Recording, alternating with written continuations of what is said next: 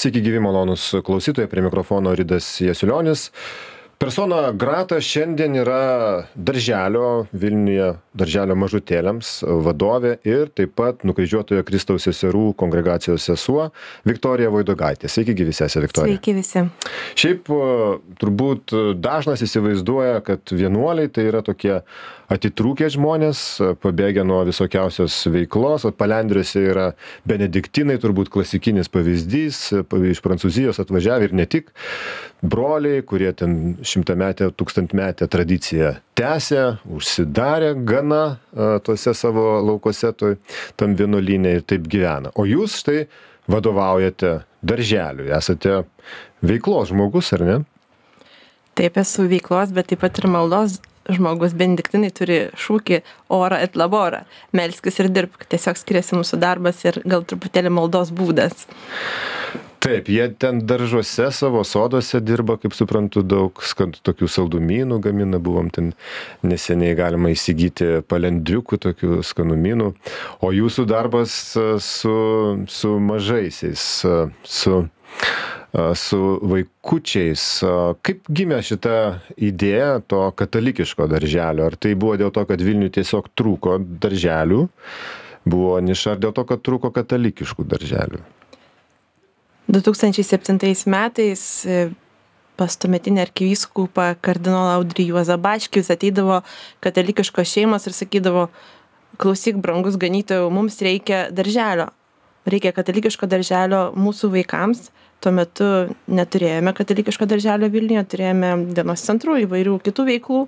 Ir kardinolas atsiliepė į šitą kvietimą tikrai nutarė kad tai bus tikrai mintis iš dievo ir išsiuntė mano seseris mokytis sako darysim darželį aš statysiu pastatą jūs statykite vidų Mokytis išsiuntė? Išsiuntė mokytis, tiesiog mes mokėmės Vilniuje, bet sakė mokykis. Pavyzdžiui, aš tuo metu studijavau teologiją, sako, bet dar paimk dar vieną specialybę, išmok, kaip dirbti su iki mokyklinio amžiaus vaikais. Tai mes. Ėjom. Kas čia pedag pedagogika? Taip, taip, liau. Aha. Tai esate diplomuota, diplomuota darželio vadovė. Taip. Tai ir kaip tas, gal pradėkim tada dar nuo, nuo aukščiau. Kardinolas būtent jūs nukryžiuotojo Kristaus seseris, ar ne, pasikvietė šiam darbui? Taip. O tada pradėkim nuo dar ankstesnių laikų, nuo pašaukimo į vienuolystę. Bažnyčia sako, kad tai yra pašaukimas tavo gyvenime yra kažkoks pašaukimas arba šeimai, arba vienuolystėje, ar ne? Kaip jūs, kaip jūs apibūdintumėte tą, tą įvykį, kada supratote, kad norite tapti vienuole?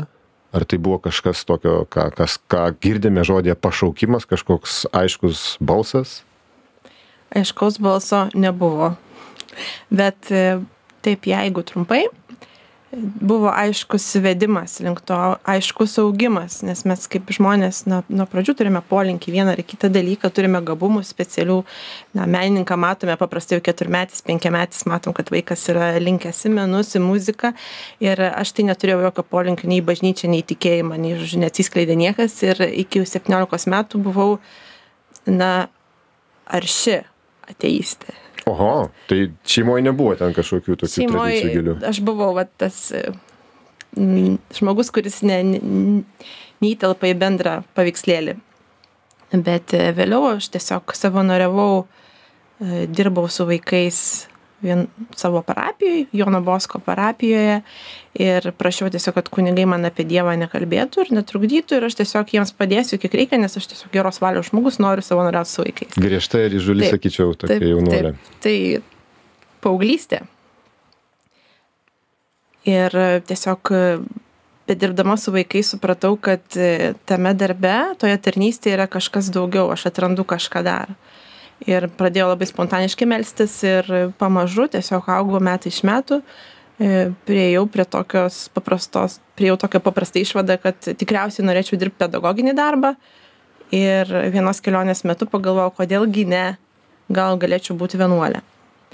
Ir ta mintis manęs neapleido visus metus. Buvo labai aiškus tiesiog na toks tyrimas ar tai yra tikrai kvietimas iš Dievo ir per metus maždaug atsakiau šį klausimą ir va dabar štai šiandien yra jau 15 metų, kaip gyvenu vienuolinį gyvenimą. Tai pašaukimas pamažu skleidžiasi. Mhm. Ir kas, ką daro tada žmogus, kai vat, įsitikina, kad ta mintis e, ne šiaip šmėkštelėjus viena iš galimybių, o tau gyvenimo programa. Ką tada darai, ne kažkaip, visų pirma, kam pasakai, turbūt, nežinau, draugams, kas tuo metu šalia yra, laukia jų reakcijos, ar ne? Būna įvairiai, aš pati pasakiau atsakingiems broliams, tiesiog saleziečiams, jie pradėjo juoktis.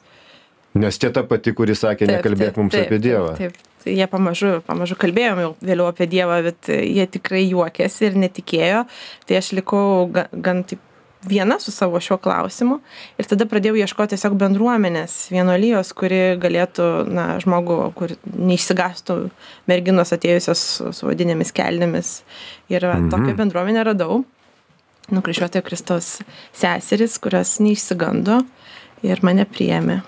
Mhm. Čia Vilniuje jau buvo Taip, ta bendruomenė. Vilniuje šiaip tų bendruomenių daug yra lietuvoje tų vienuol vienuolijų. Yra kelios dešimtys kiek aš e, suprantu.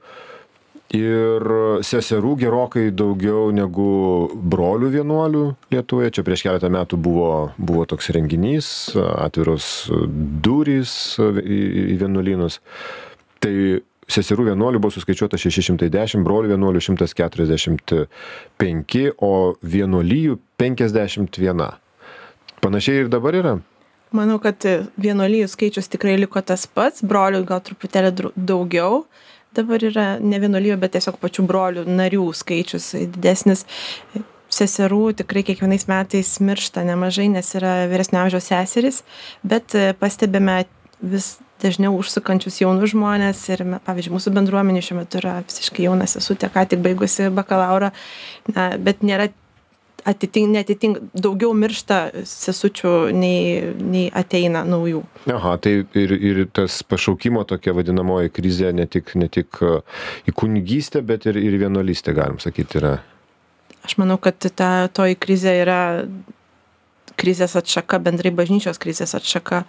Ir su ta jėga, kuri Dievas pasėja žmogui pašaukimą ir tą meilę Dievo žodžio Evangelijai, jis paskui dažnai atsitrenkia į na, bažnyčios tokią stagnaciją tam tikrą. Ir manau, kad Dievas šaukia taip pat šiandien, kaip ir prieš šimtą metų, prieš du šimtus metų, ten dvi sienos yra mūsų kieta širdis kartais kol išgirstame, kol suprantame, kad Dievas kviečia, šaukia ir kažko laukia, nori kažką padovanoti ir dar tada, kada ateiname ir nesuprantame, kas vyksta bažnyčioje ir tikrai vyksta kartais liūdni dalykai ir jie tikrai atstumia. Bet štai jūsų salėziečių juokas neatstumė. Tai aš tokio nu, tvirtesnio būdo buvau, bet galvoju, kitam žmogui gali būti. Bet gal gerai, pašaukimą reikia patikrinti. Pašaukimą reikia patikrinti. Bet uh, susiradote štai sakot būtent savo e, šitą vienuolyną nukryžiuotojo Kristaus seseris. Kas tai per, per vienuolę, kaip jinai Lietuvoje atsidūrė? Šitą vienuolyje buvo įkurta 2005 metais.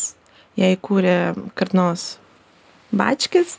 Jinai yra tiesiog reformuota atšaka kitos bendruomenės, kuri ten jau yra nuo sovietmečio įkurta. Ir, na, tokia reformuota mes sakėm, kad norim gyventi radikaliau Evangeliją ir todėl kūrėsi ta bendruomenė ir iš karto buvome tik tais keturios seserys. Ir Radikalės. Radik, žodis, kai sakau radikalu, tai daugiau kalbu apie šaknis, radiči, o ne į radikalizmą. Nu, labiau Na, Dievo žodį, taip. Taip, įsišaknyje į Dievo žodį. Aha, o dar tada norisi klausti ir apie kardinolo bačkio figūrą.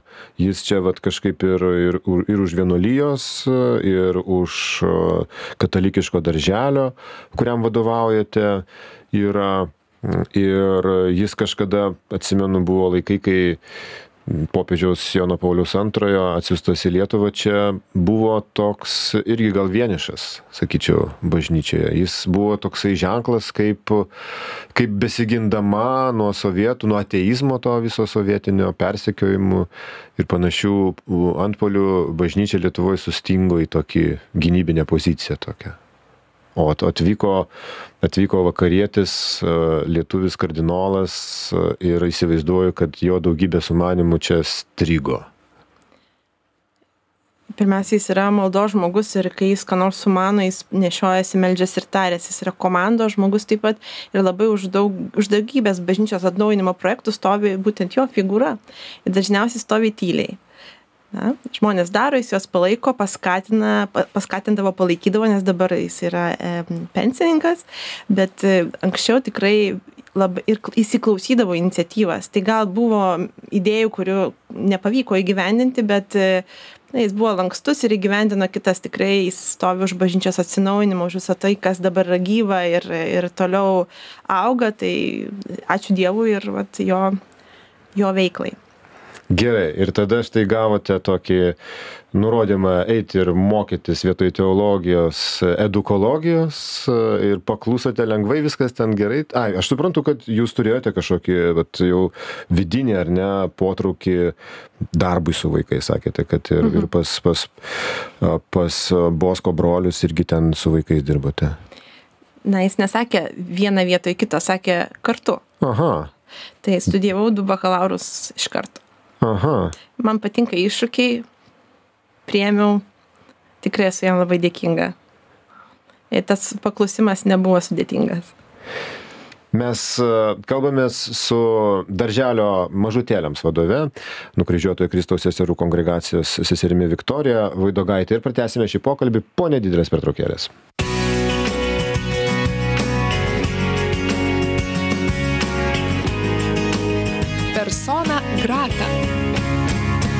Toliau kalbamės su katalikiško darželio mažutėliams vadove, nukryžiuotojo Kristaus seserų kongregacijos seserimi Viktorija Vaidogaitė. Šiek tiek apie jūsų vat, biografiją, apie tai, kaip joje e, žymų, kelis kartus net žymų vaidmenį suvaidino kardinolas Audrys Juodas Bačkis. Ir štai mm, pakvietė jis jūs mokytis edukologijos. Kreipdamas, suprantu, visas jūs, visą jūsų kongregaciją į tą, tą vaikų auklybą, mažųjų, mažųjų vaikų auklybą ir darželio steigimą. Ir jums tai buvo artima, ar ne? Kažkas tokio, kas, kas, kas jau jums ir anksčiau buvo svarbu. Na, mes kalbėjome kaip tik prieš tai apie pašaukimo įskleidimą. Tai tos studijos buvo tiesiog dar vienas žingsnis išskleisti tam pedagoginiam pašaukimui aš manau kad mokytojas bet kuris kuris pradeda dirbt su vaikais turi turėti ir mokytojo pašaukimą tai man tai buvo labai artima ir tikrai mačiau kaip skleidžiasi ta svajonė kurią turėjau savo širdyje Mokytojas irgi kažkas sako ne profesija, o pašaukimas, ar ne? tikrai taip Bet dėja ne visada taip yra. O turėjot gerų mokytojų? aš pati mokykloje Taip. Turėjau lietuvių kalbos mokytoją nuostabią. Mes nekvėpavome per pamokas iš siaubo bet egzaminai jam ramūs. Bu jinai mus išmokė ne tiktais lietuvių kalbos gramatikos ir literatūros bet e, tikrai ramiai tiesiog dėstydama savo dalyką sudėjo sudėjo tuos principus kuriais galėtume vadovautis e, gyvenime. Aš esu jai labai dėkinga. O kodėl nekvepuodavot iš siaubo, jinai kažkaip hipnotizuodavo? Jin mes galėdavo paklausti per dvi minutes surašyti tris vienetus O lele. bet paskui leisdavo pasitaisyti ir mes tikrai na išmokdavom išmokdavom tikrai Žodžiu, teisinga, griežta, bet teisinga tikrai. mokytoja. O jūs irgi tokia esate vadovė. reikėtų klaust tikriausiai mano bendradarbių bet aš irgi esu komandos žmogus man reikia kitų kad galėčiau kad galėčiau kartu dirbti man patinka dirbti visą ką galima dirbt darželyje. Aš taip aš galiu jeigu reikia išplaut grindis. Jeigu reikia galiu pakeisti vaikui kėlintes tiesiog jeigu atsitinka avarinė situacija. Galiu suplanuoti veiklą bet kokio amžiaus tarpsnio vaikučiui. Galiu tuos dalykus daryti ir taip pat e, dirbti dirbu su šeimomis su tėvais ir su aišku su savo bendradarbiais su tais žmonėm kurie dirba darželyje su mokytojais. Tarp čia taip tikrai noriu pasidžiaugti kad ta komanda su kuria dirbu aš yra geriausi mokytojai tikrai mūsų vaikams labai pasisekė Mhm. O kaip jūs subūrėte tokią komandą? E, paprastai na mes darome tokią baisoką atranką tai jau tada irgi manau nekvėpuoja bet jau kas išdrįsta tiesiog ateiti atranką ir užpildyti tą klausimyną ir tuos testus atlikti tai jau tada mes priimame į grupę vaikai bendrauja ir mokytojai bendrauja su nauju žmogumi ir tada mes atsiklausiam mokytojų ir vaikų Oho. paprastai vaikai turi labai gerą intuiciją sako ta ta ta mokytoja mūsų nemyli Oho. Ir tai jums būna pakankamas, pakankamas uh, duomo tam verdiktui? ne tai nebūna vienintelis duomuo bet vienas iš tokių sakyčiau Įsiklausote į vaikus. Mhm. Na, o dabar štai uh, Liepos pabaiga, darželis dirba ar atostogauja? Mes turime atostogas ir kelias budinčias grupes. Tiesiog šiandien tikriausiai viena veikia taip nes ne visų tėvų atostogos sutampa su darželio. Kiti tėvai turi labai labai daug vaikų ir neatostogauja. Todėl turi tiesiog dirbti išlaikyt šeimą. Tai mes patarnaujame ir turime budinčias grupes bet e, didžioji dalis darželio vaikų ir mokytojų dabar atostogauja. Tikiuosi kad e, ilsisi prie jūros Štilis toksai dabar. Ne, nepasilgote, nepasilgstate to į, į, į kasdienio įprasto šur, šurmulino? šiuo metu rašome knygą tai kai nebėra šurmulyno galime užsiimti knyga rašome apie katalikišką vaikų ugdymą knyga mažutėliams išleisim dvidešimtų metų rugsėjį Aha, tai bus, tai bus čia jūsų know-how sudėtas visas, Taip. ar ne? Būtent Tai ką, tai, ką išmokote universitete ir darželio universitete. darželis taip pat turi jaunų mokytojų ugdymo tokį programą turim savo mokyklėlę mokytojams ir priėmam taip, taip pat ir kitus pedagogus iš skirtingų ugdymo įstaigų ir na, girdime iš jų, kad jie norėtų vadovėlio. Tai mes tą vadovėlį rašome. O tokių katalikiškų darželių Vilniuje arba Lietuvoje yra ir daugiau? Žinau, kad šiuo metu pranciškonai, broliai Klaipadoje nori įsteigti panašaus tipo darželį. Atvažiavo konsultuotis, Vilniuje veikia taip pat Matulaičio bičiuliai dienos centras, kuris irgi mokėsi šiemet mūsų pedagogų mokyklėlėje. Ir taip pat yra šeimų darželis, kuris irgi opus dei dvasingumu e, bando kurtis, e, daryti savo, savo darželį. Ir taip pat mokėsi pas mus. Tai pagal mūsų modelį pamažu, pamažu plinta geroji žinia. Geroji žinia apie katalikišką darželį. O, o kas čia tokio ypatingo? Štai tas, tas, tas būdvardis katalikiškas, ar jisai reiškia ką? Tik tai, kad, na, prie bažnyčios, kad jūs, pavyzdžiui, štai kardinolas ten įkūrė, kiti vienuolijo, vienuolijos kūrė savo dienos centrus ar darželius, ar dar kažką reiškia žodis katalikiškas pavadinime. Aš pasidalinsiu, ką reiškia mūsų darželėje katalikiškas. Tai pirmiausia tai, kad mes turime duotą misiją iš bažnyčios, tikrai, kad tai, ką mes darome, yra bažnyčios darbas. Antras dalykas, tai yra visiems atvira erdvė, visuotinė, katalikiška. Reiškia, kad Aha. priemame Čia ne, ne, ne, nenurodymas į konfesiją, o į visuotinumą, tai kas Taip. yra žodėje Taip, užkoduota. ir e, turime, priemame įvairių konfesijų vaikų, tėvų vaikus. O ir tik- ateistų vaikus? E, m, Nei vienas netėjęs neprisistatė, kad yra teistas. Tai dabar tokios patirties neturiu, bet yra ieškantis ir sakantis žmonės, mes per vaikus norime atrasti. Ir jeigu mums pavyks, mes džiaugsimės. Tai toks atvirumas yra tikrai labai reikalingas priemant žmonės ir, ir jiems patiems ugdant. Mes sako, mes mokysime su, su vaikais gėdoti, mes melsimės. Ir paskui, žiūrėkit, po dvi savaičių prieš maistą jūsų vaikas klaus, mama, o kodėl mes nesižegnojame ir nesimeldžiame valgydami, būkite pasiruošę, mes įspėjom. Na taip, jeigu jau leidi vaiką į katalikišką darželį, būk pasiruošęs, kad reikės iš jo mokytis paskui kažkokių kasdieninių veiksmų. Mes turime tokį, tokį juoką. Kuo skiriasi katalikiškame darželėje vaikai nuo paprasto darželio. Jeigu paprastame darželėje vienas berniukas stumia kitą nuo paspirtuko ir nuvažiuoja, tai katalikiškame darželėje nustumęs pasako, reikia dalintis.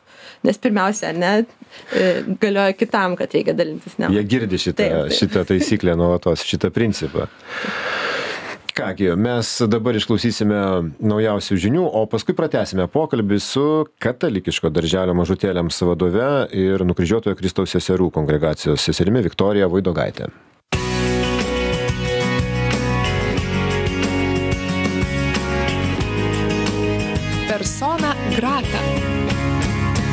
Mes toliau kalbame su persona grata darželio mažutėliams vadove, katalikiško darželio vadove, nukryžiuotojo Kristaus seserų, kongregacijos seserimi Viktorija Vaidogaitė. Ir vat, prakalbam apie tą katalikiškumą jūsų darželio. Yra skirtumas, ar ne, nuo, nuo kitų, ar privačių, ar valstybinių darželių. Jūs ir jau paminėjote tuos, tuos skirtumus, bet, bet jie reiškiasi ir, ir pačiame, pačiame darbe, pačioje, pačioje auklyboje, ar ne? Be abejonės, jie. Mes turime tokį principą, laikomės principų, katalikiškų principų. Pirmiausia yra tai, kad tai, kas yra krikščioniška, būtų iš vidaus. Per kiekvieną veiksmą, kurį aš darau, aš galiu jį padaryti kitaip, su daugiau meilės.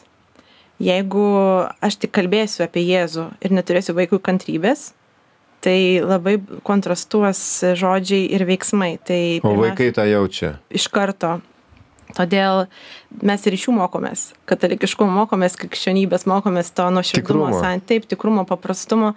Tai aišku mes turime katechezes vaikams turime visi darželis visa bendruomenė įskaitant e, už ap aplinkos priežiūrą atsakingą personalą virtuvę visi meldžiamės ryte susirenkam ir visą dieną pradedame maldą visi visi visi kartu. Ir netgi tie tėveliai kurie tuo metu ateina tai pradedam kaip bendruomenė ir toliau dirbame kaip bendruomenė. Ugdo visi ne tiktais mokytojai bet taip pat ir visi kurie dirba su vaikais yra jų ugdytojai yra jų mokytojai.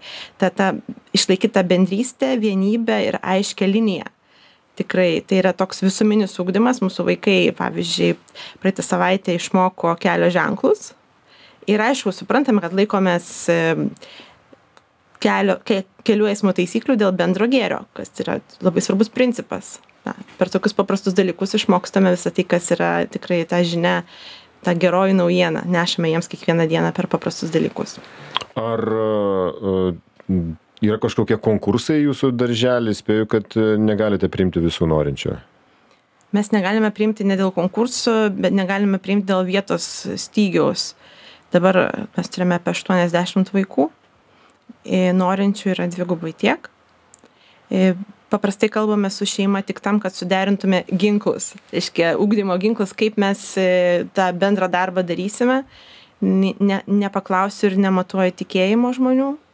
Paprastai labai, labai rūpi man atvirumas, E, toks noras bendradarbiauti ir tikrai nu, nuoširdžiai pasakau visą, ką veiksime. Ir jeigu vaikas išmoko pasikloti lovą darželėje, tai namie jis jo taip pat turės pats pasikloti. Mhm. Krikščioniški principai, jūs sakėte, štai jūsų ūkdymo yra, yra e, esmė. O po politiškai politinėj tokioj darbotvarkėj dažnai dabar girdime krikščioniškas vertybes kad tai yra maždaug nu kai kurių politikų toks skiriamasis ženklas ar ar ten partijų čia tai rinkimų daug buvo lietuvoje ir apie krikščioniškas vertybes buvo nemažai šnekos. Man į akis pateko tomos bružaitės straipsnis naujajame židinyje apie krikščioniškas vertybes kur gal net pats nustebau perskaitęs kad Europos viskupų konferencijų komisija, ji kreipėsi į Europos institucijas, kur ragina nevartoti termino vertybės, o verčiau kalbėti apie pamatinius principus, vad kaip ir jūs sakote, principai, ugdymo principai krikščioniški ir teisės. Kaip jūs suprantate štai vat šitą tokį išsiskyrimą viskupų kalbos ir čia Lietuvoje daugelio politikų retorikos, kur krikščioniškos vertybės vos ne pagrindinis būtinas e, yra pareiškimas. Toksai kokybės ženklas. Vat jeigu mes vadovavomės krikščioniškomis vertybėmis, mes kokybiški.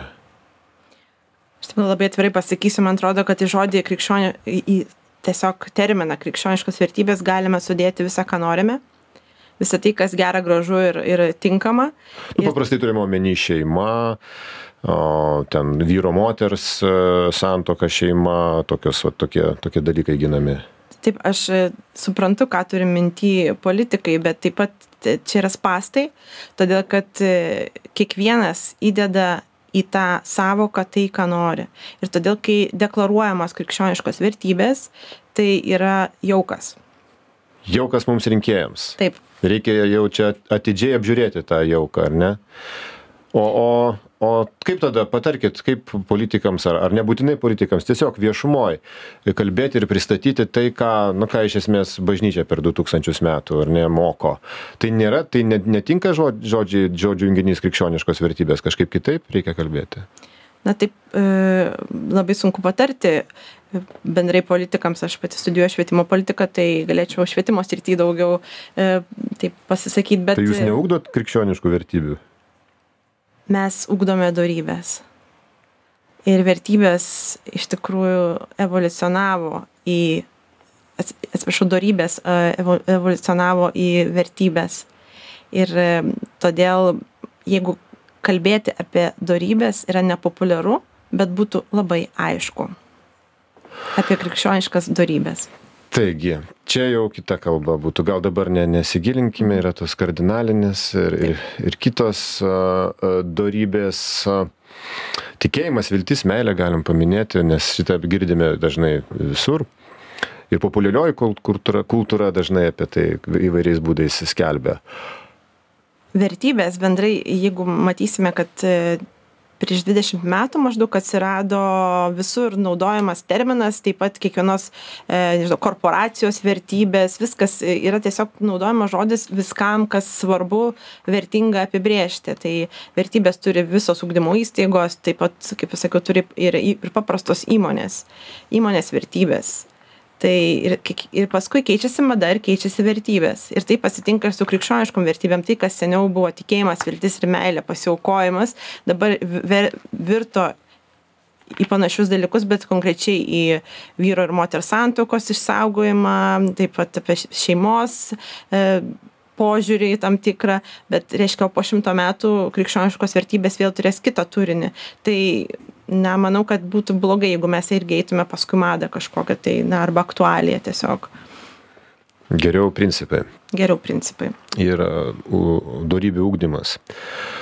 O katalikiškas darželis, jūs sakėt, jau daugiau steigėsi, bet vis dėlto įsivaizduoju, yra dar patrauklus ir dėl to, kad, nu, čia tokia, toks išskirtinumas jaučiasi. Vat vedu vaikus į katalikišką pasaulį. Į atsiprašau į katalikišką darželį tai pasakiau pasaulį nes galvoju apie tai kad pasaulis dabar mm, ir katalikų yra apibrėžiamas kaip tokia sekuliari sekuliari vieta. Mes gyvenam sekuliarioj visuomenėj bendruomenėj. Taip lietuvoje aštuoniasdešimt regis procentų žmonių užsirašė kad jie yra katalikai bet bažnyčiose galima pamatyti suskaičiuoti kad tų tikrųjų katalikų yra e, tik tai keli turbūt procentai visoj visuomenėj yra, nu, 10 ten panašiai. Manau, kokiu 18 arba 20. A, atsiprašau, pamažinau. Gerai, mhm. 20 procentų e, tų jau praktikuojančių katalikų, ar ne?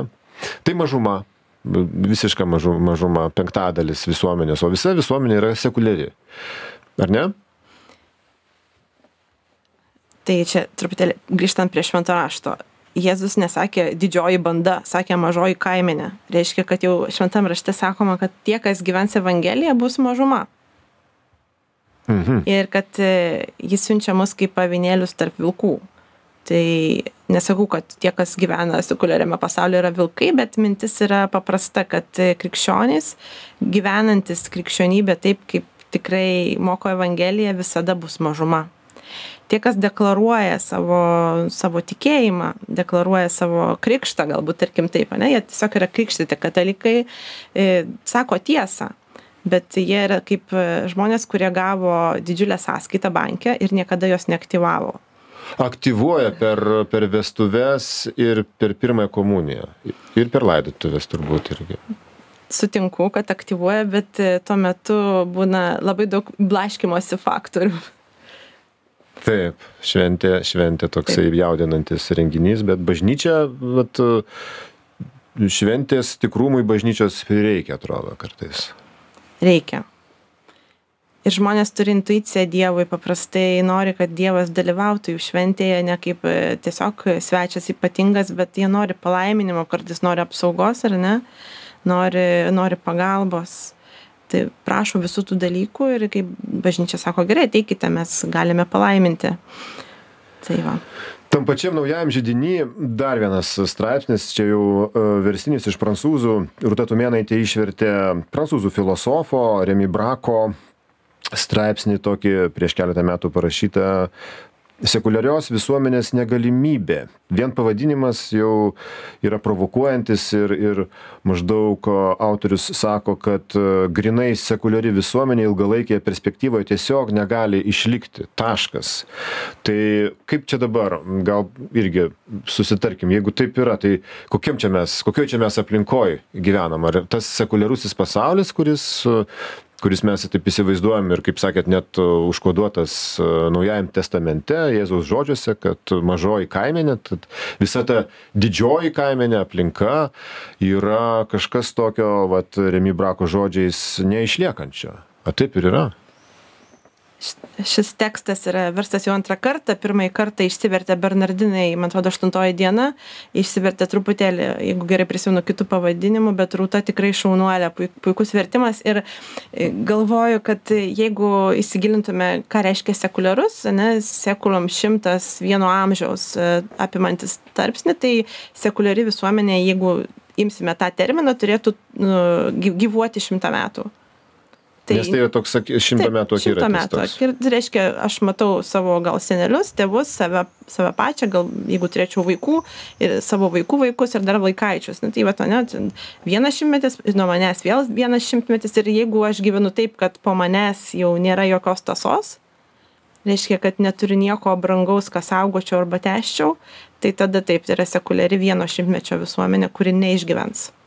Nes sunaikins ir planetą, ir, ir, ir gyvybę, ir visą. Tai pirmas, pirma asociacija, kas, kas kyla man, galbūt klaidinga yra, kad tai yra va, ta vakarų Europos uh, išmirštanti, na, nu, tiesiog uh, minusiniai demografijai gyvenanti visuomenė. Mes irgi, lietuvių, lietuviai irgi daugiau miršta negu gimsta šiuo metu. Tai vat tau ir tas šimtmečio perspektyva, ar ne? Tai galima taip manyti, kad vat, vakarai pasiekia tą vat, sekuliarios visuomenės, na, tam tikrą, tam tikrą nykimą jau dabar. Manau, kad tai jau yra Tomas Ga tikrai, bet mes esame, na, visa visuomenė, ne tik vakarų, bet ir visa, visa tai, kas, tie, visi tie, kas gyvena mūsų planetoje, esame viena, ar ne, ir baigėsi viena, na, vienas šimtmetis prasideda kitas. Ir žmogus visada yra religingas jeigu jisai neturi asmeninio santykio su Dievu, jisai turi prietarus, šiuolaikinius, senovinius, nesvarbu kokius. Gali pasitikėti skaičiais, sėkme, įvairiais dalykais. Žmogus yra linkęs į religiją, į religingumą. Jam reikia to ryšio su, su anapusybė, kartais jis tai daro netinkamais būdais dėl to, kad na, jis pats nori valdyti dievybę. Tai, na, to, tada prietarai ir ne, ir magijos visokios, bet žmogus visada yra linkęs į kaž, kažkokią tai anapusybę. Todėl ir visada yra linkęs linkėti gero savo vaikams ir kad jų vaikai turėtų dar vaikų ir kad tas sek, sekurum tęstųsi dar šimtą ir dar du šimtus metų. Todėl manau, kad na, po šimtmečio atomas gabus tokia, kad žmonės atras naujus atsakymus į klausimą, kaip mes gyvename visuomenėje, kur yra Dievas, ką jis mums reiškia sekuliarizmas reiškia tokia krizė abejonė. Šitų klausimų ne ne ne neišrišimą neradimą atsakymų į šitus klausimus be abejonės manau kad sekuliarizmas yra ne atsakymas. Dar viena pertraukėlė ir tuoj pat pratęsime.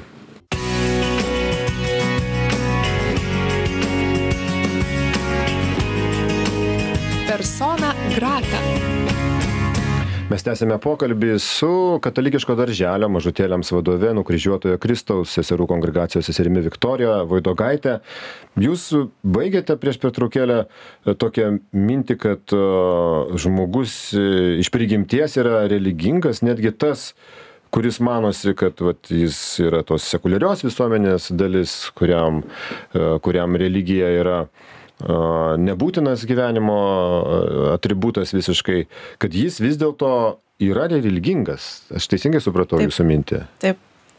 Čia aš atsiriamiu į Augustiną, kuris sako, kad kiekvienas žmogus turi savyje ilgesį. Mes galime bandyti tą ilgesį socialiniais tinklais, garsia muzika, pirkimu, vartojimu gesinti, bandyti, kad ne, u, užčiaupti, bet tas ilgesys mumise kalba nuolatos. Ir kada ypač liūdnom akimirkom, tai gali būti malonės laikas, kai atsigrėžiame į tą, kuris mus kalbina ir susitinkame akis į akį Dievą.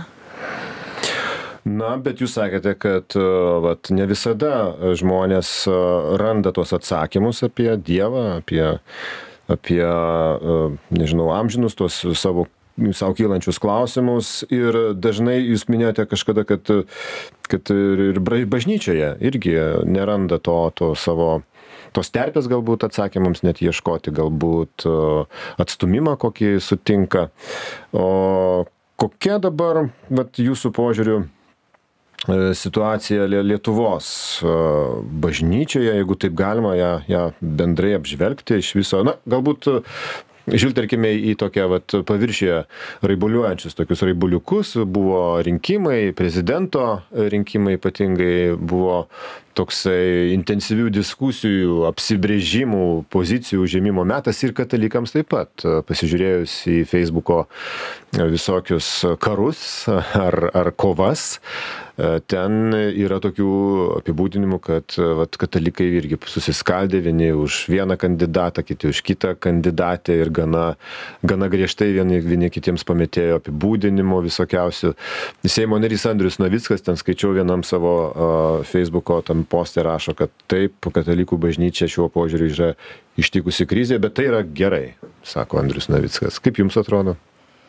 Aš skaičiau tą andriaus tekstą tikrai esu jam dėkinga kad jį parašė atsiliepiau kiek galėjau bet dabar va tokią mintį tiesiog e, rezgu jau mezgu kurį laiką kad e, iki šiol mums buvo labai patogu nes karta iš kartos vėl tas sekulum e, mes žinojom krikščionys žinojo už ką balsuoti mes turime balsuoti už konservatorius, viskas aišku, nėra jokios, jokio galvos skausmo.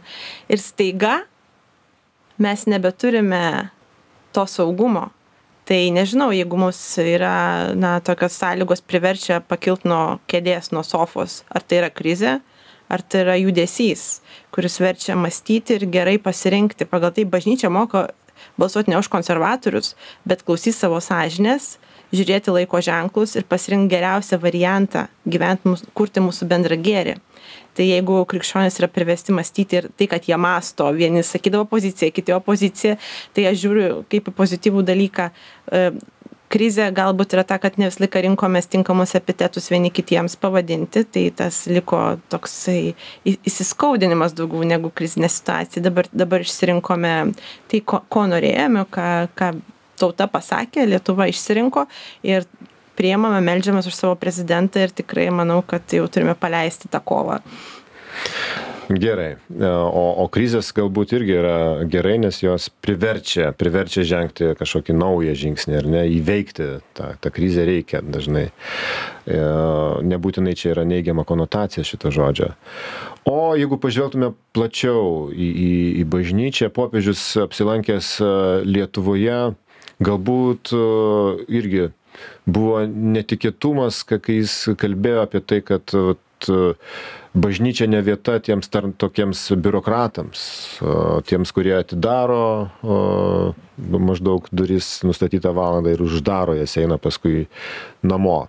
Ne vieta, sako bažnyčia tokiems popiežius. Tai gana, gana, gana gal, galėjo būti skaudu, kam nors išgirsti manau kad tai buvo vėl dar vienas pajudinimas iš patogaus gyvenimo. Ir popiežius nekart yra sakęs kad bažnyčia yra karo lauko ligoninė. Reiškia kad karo lauko ligoninėje slaugomi visi. Ir tol kol mes turime tą poziciją kad priimame kiekvienas nes kiekvienas esame sužeistas nustojame būti biurokratais bet atsiranda jautrumo gailestingumo tikro gerumo vieni kitiems pirmiausia ir aišku visiems, kurie nori užeiti ir, ir tikrai būti kartu.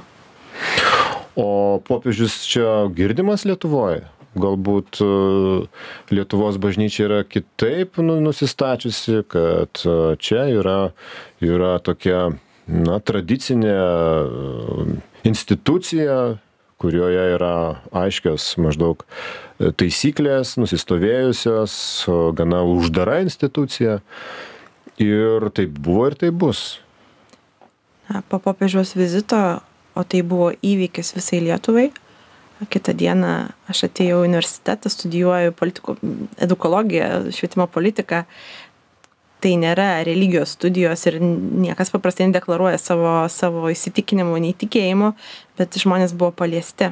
Ir tie, kurie tikrai buvo daug kalbama ne tik tais apie jo vizitą, kaip smagu, kad jis atvyko, bet apie tai, ką jisai sakė. Žmonės klausėsi. Galbūt sunkiau yra popiežiui pasiekti ne tos toliau esančius, bet arti esančius, kurie visą žino, supranta ir keurai mato.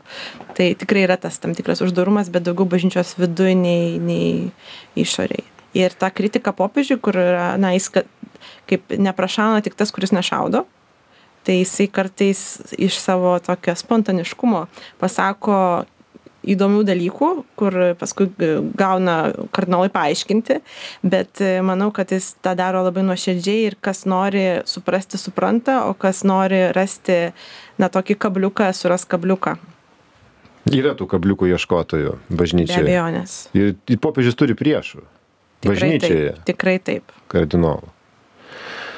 Manau, kad e, priešiškumas yra ženklas, kad popiežiaus balsas yra labai svarbus, kad žinia yra tikrai evangelinė, kad ji yra kaip druska, kuri pataiko ant žaizdos ir graužia. Ir tas triukšmas, kuris kyla dėl to, yra ženklas, kad popiežius yra girdimas. Prie, Jėzus nesakė, jūs neturėsit priešų, sakė, melskitės už savo priešus ir būkite verti savo priešų. Į kovą.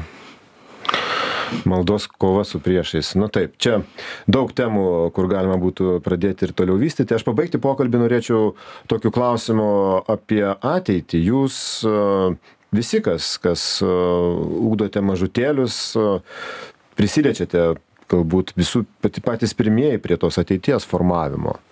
Kokia bus Vilniaus Lietuvos ateitis?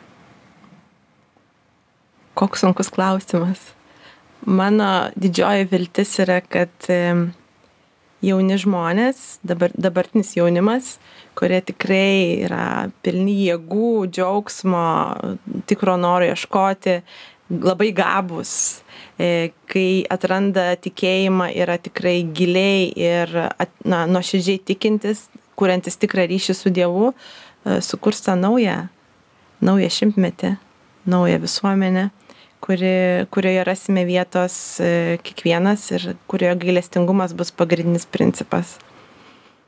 Dėkui Jums už pokalbį. Tai buvo Vilniaus katalikiško darželio mažutėliams vadovė ir nukryžiuotojo Kristaus seserų kongregacijos sesuo Viktorija Vaidogaitė. Ačiū Jums. Ačiū.